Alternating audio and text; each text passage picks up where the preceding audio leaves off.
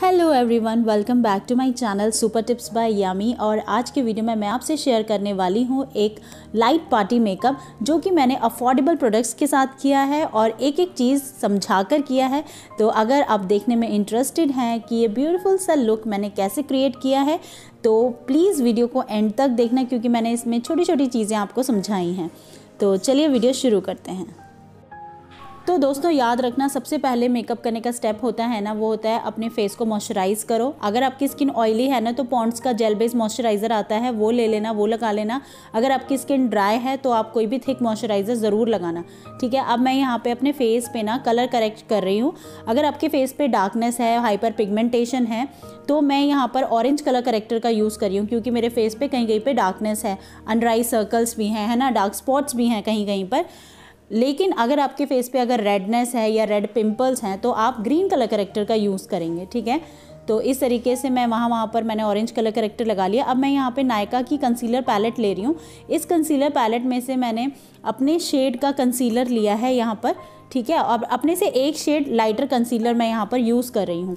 और जहाँ पर मैंने ऑरेंज कलर करेक्टर लगाया था सिर्फ़ वहीं वहीं पर उसको कवर करने के लिए मैं यहाँ पर आ, आ, ये वाला कंसीलर का यूज़ कर रही हूँ ठीक है? और देखिए, बहुत ही कम कम प्रोडक्ट लगाना है आपको यहाँ पर। मेरे ब्रश में बहुत ही कम प्रोडक्ट पिक होता है ये क्रीमी प्रोडक्ट तो इसलिए मैं यहाँ पे ब्रश से लगा रही हूँ। जहाँ जहाँ पे मैंने ऑरेंज कलर करेक्टर लगाया था ना, सिर्फ़ वहीं पर ही मैंने ये वाला कंसीलर लगाया है। अपने से एक टोन लाइटर और अब मैं क्या कर रही हूँ, दो शेड को मिक्स करके मैंने अपना शेड कस्टमाइज़ कर लिया है इसी पैलेट में से और मैं अपने पूरे फेस पे हल्का हल्का लगाऊँगी, बिल्कुल हल्का हल्का जहाँ पर मुझे नीड लग रही है, ठीक है? अब इसी से मेरा काम हो जाएगा, मुझे अलग से कोई फाउंडेशन लगाने की ज़रूरत ही नहीं है, ठीक है? और मैं इसी को पूरे फेस पे ब्लेंड कर लूँगी, ठीक है? आपको बहुत ही कम कम अमाउंट लेना है, बिल्कुल पतला, बिल्कुल पतली सी लेयर आपको अपने फेस पे, उस पर बेस बनाना है, ठीक है? ताकि आप जो भी कलर आप डालोगे अपने फेस पे ब्लशर कंटोर तो वो उभर के दिखेंगे, ठीक है? तो इसलिए बहुत ही कम प्रोडक्ट का मैंने यहाँ पर इस्तेमाल किया है, इसलिए मैं फिंगर ब्रश ये चीज़ें यूज़ कर रही हूँ। ठीक है? अब मैंने यहाँ पे मार्स की लिप पैलेट यूज़ की है। इसका रिव्यू अगर देखना है लिप स्वॉचेस तो मेरे चैनल पे दिए गए हैं तो देख लेना। दोनों वेरिएंट आते हैं इसमें तो दोनों वेरिएंट के दिए गए हैं। यहाँ पे मैं एज अ ब्लश इसको यूज़ करी हूँ। यहाँ पे मैंने एक मॉवी पिंकी शेड लिया है और इसको मैंने एज अ ब्लश यूज़ कर लिया है नोज़ पर भी और चीक्स पर भी। ब्यूटी ब्लेंडर से मैंने इसको ब्लेंड कर दिया है।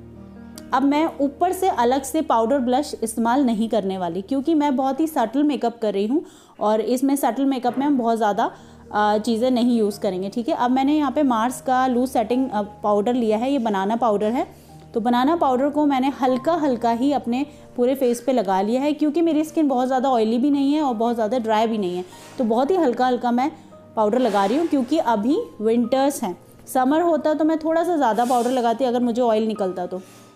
ठीक है मैं सिवाना का ये ट्रायो पैलेट है, इसमें से मैंने मैट कंटोर लिया है और यहाँ पे मैं हल्का हल्का कंटोरिंग करूँगी। ठीक है?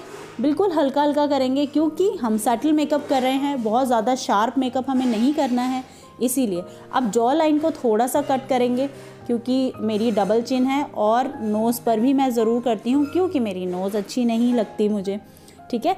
तो इसलिए इस तरीके से मैंने एक पतला ब्रश लिया है एंगुलर ब्रश है ये। एंगुलर ब्रश से अगर नोज़ कंट्रोल करोगे ना तो बहुत ही अच्छे से होती हैं। तो हमेशा मैं छोटा ब्रश ही यूज़ करती हूँ अपनी नोज़ को हल्का सा शार्प दिखाने के लिए। आप ट्राई करके देखना नहीं तो। अब मैंने एक फ्लफ़ी ब्रश लिया है और जो मैंने कंटोरिंग लाइन ड्रॉ की थी ना छोटी छोटी वो मैंने इसी से ब्लेंड कर दी है, ताकि कोई हार्श लाइन ना दिखे, ठीक है? मेकअप में कभी भी हार्श लाइन नहीं दिखनी चाहिए। अब थोड़ा थोड़ा हेयर लाइन पे ज़रूर लगा लें, क्योंकि वाइट वाइट फाउंडेशन लग जाता है ना तो वो छुपाने के लिए हम थोड़ा सा ब्राउन पाउडर से वो छुप भी जाता है और आपका फॉरहेड भी थोड़ा सा छोटा दिखता है। ठीक है, जहाँ पे आप डार्क कलर पाउडर लगाओगे। अब यहाँ पे आई शेडो लगाने के लिए ना मैं बेस बना रही हूँ। यहाँ पे मैंने एक कंसीलर ले लिया है उसी पैलेट में से और उसके ऊपर मैंने फिंगर से लगाया है और उसके बाद मैंने ब्यूटी ब्लेंडर से उसको ब्लेंड कर दिया है।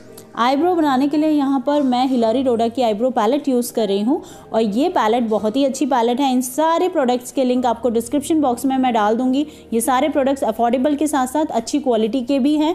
इसलिए मैं आप लोगों के साथ इनका परफॉर्मेंस इनकी शेयर कर रही हूँ आपके साथ। तो इसमें मैंने डार्क कलर लिया पहले। इसको पहले ड्रॉ कर लिया आउटलाइन कर ली और उसके बाद मैंने जो आईब्रो का मेरा पीछे वाला सेक्शन है ना, यहाँ पे मैं डार्क पाउडर लगा रही हूँ। और आईब्रो का जो आगे वाला सेक्शन है, यहाँ पे हम इस पैलेट में से लाइटेस्ट कलर लगाएँगे और फिर उन दोनों को मर्ज कर देंगे, आपस में ब्लेंड कर देंगे, जिससे कि हमारे बालों जैसा कलर हमारी आईब्रो का बन जाएगा। तो इसलिए जैसा कि आपके बालों का कलर हो, वैसे ही आपके आईब्रो का कलर होना चाहिए। तभी आपकी आईब्रो अच्छी लगेगी और नेचुरल लगेगी। यहाँ पर मैं अब आई के लिए मार्स की पैलेट यूज़ करी हूँ। इस पैलेट में से मैंने लाइटेस्ट ब्राउन कलर लिया है इस पैलेट का, और मैंने आई बेस जब बनाया था तो इसको मैंने पाउडर से सेट नहीं किया था।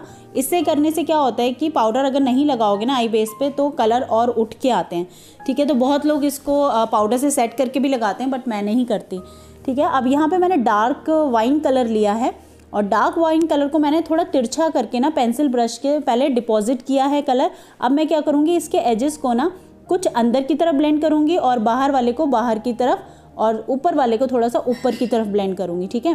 तो मतलब जिस डायरेक्शन में लगाया है उसी डायरेक्शन में हम इसको ब्लेंड करेंगे ताकि ब्लेंड होने के बाद ये वैसा ही दिखना चाहिए जैसा कि हमने जिस डायरेक्शन में हमने इसको डिपॉजिट किया है।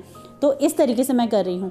अब देखो एजेस मैंने अच्छे से ब्लेंड कर दिया अब सिंपल हमने क्या करना है एक इसी पैलेट में से मैंने एक शिमरी शेड लिया ठीक है? अपनी कुर्ती से मैच करता हुआ जो एम्ब्रॉयडरी है मेरी ये शैम्पेन शेड है आ, तो इसको मैंने लिड पे लगाया हाफ़ लिड पे, और इसी को मैंने अपने ब्राउ बोन तक ले गई मैं। इससे क्या होगा, मुझे ब्राउ बोन को हाईलाइट नहीं करना पड़ेगा, ठीक है? आप दूसरी आँख पे देख लो अब दूसरी आँख को मैंने पहले फिंगर से ब्लेंड कर लिया, क्योंकि क्रीज बन जाती हैं कंसीलर की। और वही सेम लाइट ब्राउन कलर लिया है, अपने क्रीज लाइन पे लगाया है।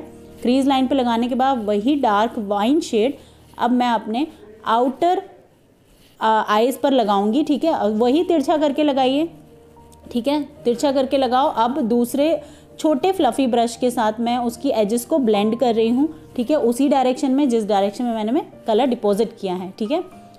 तो इस तरीके से करोगे ना, बहुत जल्दी हो जाएगा, बहुत इजी हो जाएगा। सेम वाला सेम शिमर शेड लेके मैंने फिंगर से लगा लिया और इसी शेड को मैं अपने ब्राउ बोन तक अप्लाई कर लिया। तो ब्राउ बोन तक अगर वही शेड लगाओगे ना तो बड़ा ही सुंदर और बिल्कुल डिफरेंट लुक आता है। आप करके देखना, ये ट्राई ना। अलग से आपको हाईलाइटर लगाने की ज़रूरत नहीं पड़ेगी और यही वाला लुक बड़ा एक दूसरे के साथ मतलब ऐसा आता है, बिल्कुल मर्ज होकर बहुत सुंदर लगता है ये। ठीक है, अब सेम डार्क वाइन शेड लेके जो हमने आउटर एरिया में जो लगाया था, उसी को हम लोअर लैश लाइन में लगा लेंगे। सिंपल आप देखो कितना सिंपल आई मेकअप है ये। इससे सिंपल क्या हो सकता है ना? बहुत सिंपल है, कोई भी कर सकता है। अब क्या करो, अब एक काजल लगा लो, कोई भी। अगर आप काजल लवर हो तो आप काजल लगा लो, अगर काजल नहीं लगाते तो मत लगाओ। ठीक है? लेकिन मैं काजल लगाती हूँ तो काजल लगने से क्या है, इस आई लुक की और मतलब और अच्छा लुक आता है। इस आई लुक का, है ना? तो इसलिए मैंने काजल ज़रूर लगाया। तो काजल एक बार ट्राई करके देख लेना, आपको हो अच्छा लगेगा इसके साथ। ठीक है? और थोड़ा थोड़ा सा विंग निकालते हुए लगाना काजल तो ज़्यादा सुंदर लगेगा। हल्का सा, बिल्कुल छोटा सा विंग आप देखो, मैंने कितना छोटा सा विंग निकाला है। ठीक है? तो अब हम मैं यहाँ पे क्या कर रही हूँ वेट एंड वाइल्ड का प्रीशियस पेटल शेड है ये हाइलाइटर का और बहुत ही अच्छा हाइलाइटर है ये शैम्पेन गोल्ड शेड है और ये ऐसा शेड है ना कि हर स्किन टोन पे मैच भी हो जाता है, चाहे आप फेयर हो मीडियम हो, चाहे आप डस्की हो, सब पे सूट हो जाता है ये। और मैं अपनी ब्राइडल्स पे तो बहुत यूज़ किया है मैंने ये पहले ना, बहुत यूज़ किया और अपने ऊपर तो मैं हमेशा ही यही वाला यूज़ करती हूँ ज़्यादातर।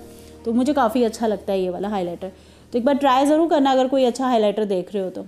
है ना? अब अपने फेस पे हाई पॉइंट्स पे मैंने लगाया, एक तो सेंटर ऑफ़ दी हेड पे और आईब्रो के ऊपर थोड़ा थोड़ा और नोज़ ब्रिज पे लगा लो नोज़ की टिप पे लगा लो और अपनी चिन और अपने चीक बोन्स पे लगा लो, ठीक है? अब यहाँ पे मैंने मार्स का मस्कारा यूज़ करी हूँ। ये मस्कारे के बारे में मैं हमेशा अपने मेकअप ट्यूटोरियल्स में आपको बताती हूँ कि ये वाला मस्कारा उन लोगों के लिए जो डेली मस्कारा लगाना पसंद करते हैं ना, जिनको डर भी है कि उनकी आई ना टूटे तो ये बहुत अच्छा मस्कारा है क्योंकि ये आपकी लैशेज़ को ना लॉक नहीं कर लेता।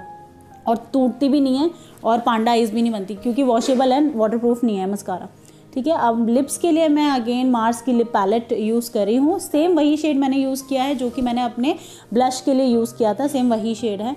उसी को मैंने अपने लिप्स पे लगा रही हूँ और इसके बाद हम इन का लिप ग्लॉस यूज़ करेंगे। आप चाहें तो मैट लिपस्टिक के साथ भी इसको फिनिश कर सकते हैं, आप ग्लॉस मत यूज़ कीजिए।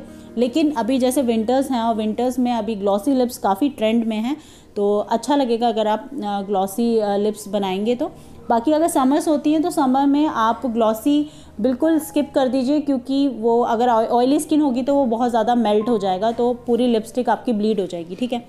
तो ये था हमारा फाइनल स्टेप मैं यहाँ पे मेकअप सेटिंग स्प्रे नहीं यूज़ करी क्योंकि मुझे कहीं नहीं जाना तो चलिए मिलते हैं अपने नेक्स्ट वीडियो में।